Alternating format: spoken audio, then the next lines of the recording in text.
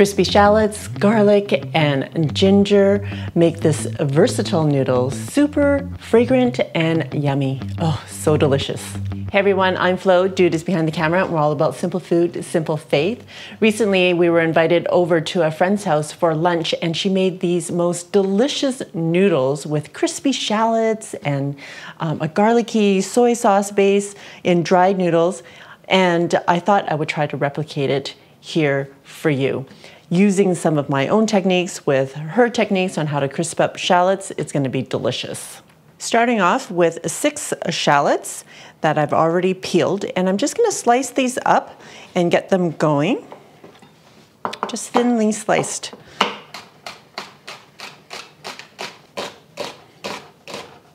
I am heating up my pot on medium high heat. You don't have to wait for the pot to get hot. I'm adding about half a cup of oil. You just want enough oil to cover the shallots when they're in there. I'm using corn oil today, and you can use whatever neutral cooking oil you'd like. I'd probably stay away from like olive oil because it does have a more of a flavor to it. I'm also using a uh, cast iron Dutch oven, but you can use a deep frying pan or anything with like a um, a thick bottom, a heavy bottom pan. Now that the oil is hot, I'm going to add my shallots.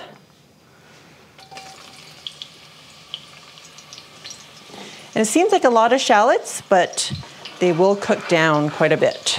All right, the shallots should be covered with oil, but I just can't bring myself to use that much oil. So I'm just going to keep stirring it around and hope that it's enough. Make sure to stir your shallots around so that they don't get um, burnt at the bottom. You want it to kind of evenly cook.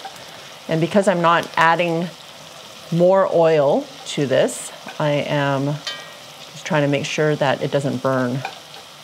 But you have to keep your eye on it.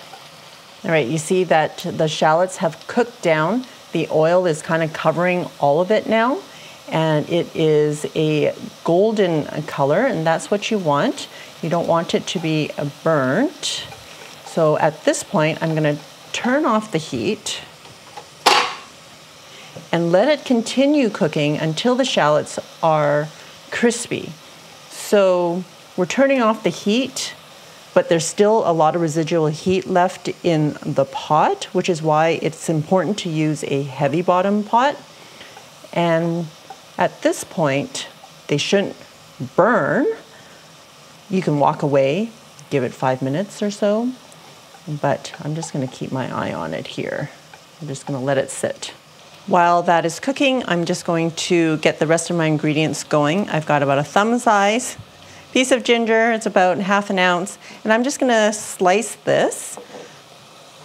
You can also grate it if you like, but I don't want the pieces of ginger in there. I just want the flavor. So I'm just gonna leave it like that. Four cloves of garlic, and for garlic you can use as little or as much as you like. I'm starting off with four, four cloves. It's gonna give me about a tablespoon, maybe a, a touch more. I'm Also going to chop up some cilantro. You can also use uh, green onions if you like. If you don't want cilantro, you can omit it altogether. Green onions would be nice in it. You can chop it up as finely as you like or leave the pieces bigger.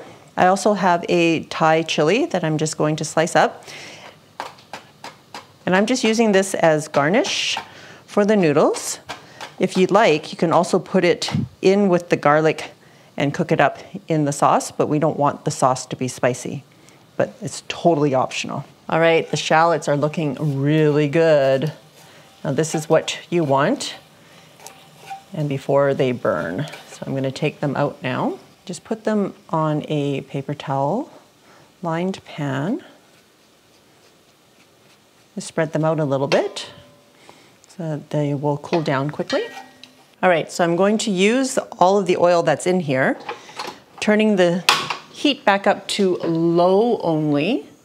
Now I'm making a larger batch of sauce that you can store in the fridge and use this for your noodles for the next you know couple of weeks or so. And if you want to make a smaller batch, well, I just wanted to make a whole batch of shallots because I don't like to have to do this every single time just to get a little bit of shallots. So by doing this, it just, you know, it makes a great meal once, but many times after. Okay, I'm adding my ginger now. And we're just gonna let this cook for about two minutes just to get the ginger flavor into the oil. Well, that wonderful aroma is wafting through the air. It is, it smells so good. Okay, it's been about a minute or two, so we're gonna remove these. Now, if you wanted your ginger to be grated instead, you would add it with the garlic right now instead of cooking the ginger first. And this is only gonna take about 30 seconds. Does this look familiar? This is kind of like for garlic noodles. This noodle dish is similar and is just as flavorful.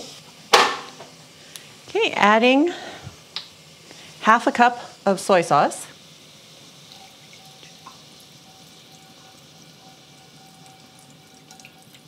Two tablespoons of kecap manis, which is a dark soy sauce. And if you don't have this, you can use a um, regular dark soy, but I would add a little bit more sugar than I'm going to add here. Tablespoon of sugar and two tablespoons of oyster sauce.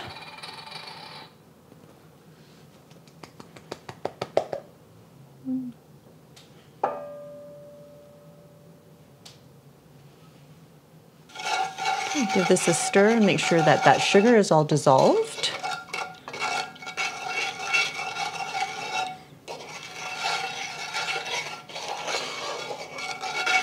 You can hear at the bottom whether or not it's dissolved or not. So these are the noodles I'm using. This is not a brand placement or anything. These are the noodles that we like.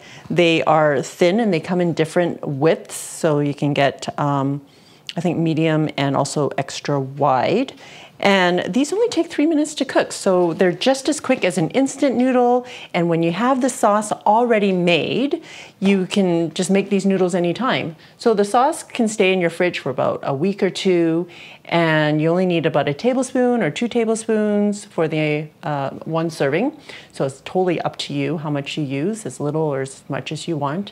And you can add whatever toppings you like so that you can make it a complete meal.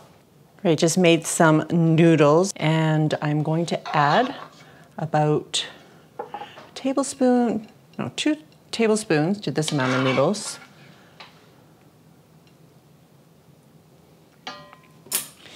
And we're just going to kind of mix this around.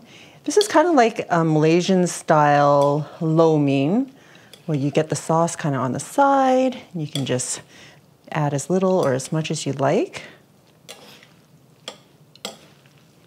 You can top with some cilantro.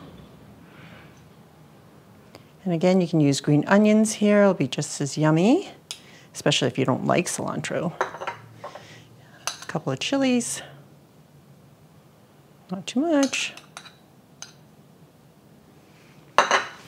And don't forget the shallots. See, they're all crispy now. Oh, so good.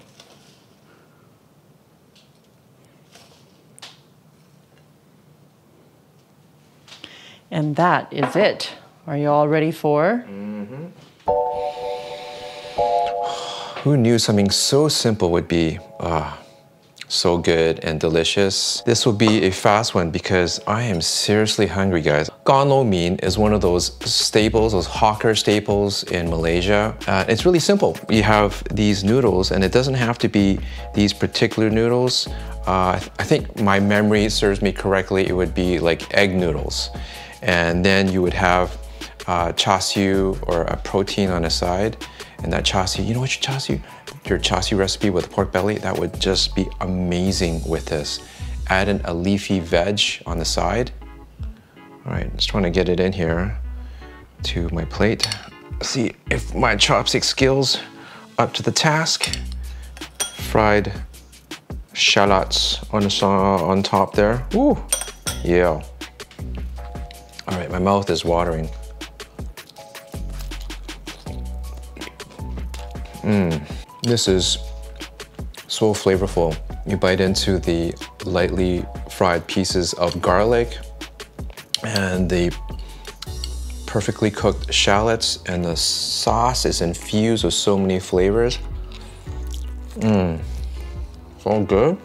So this lo mein isn't your standard Cantonese fare. Malaysian lo mein, you can add anything with it. Just as versatile as the garlic noodles and just as flavorful. So dang good. All right. Thanks, dude. Super simple and delicious noodles. Don't forget that extra sauce that you have. Put it in a jar or in an airtight container. And you can keep it in the fridge and you can have this noodle like pretty much anytime. For the char siu recipe, check it out. I will see you over there. Bite into those pieces of lightly fried, lightly fried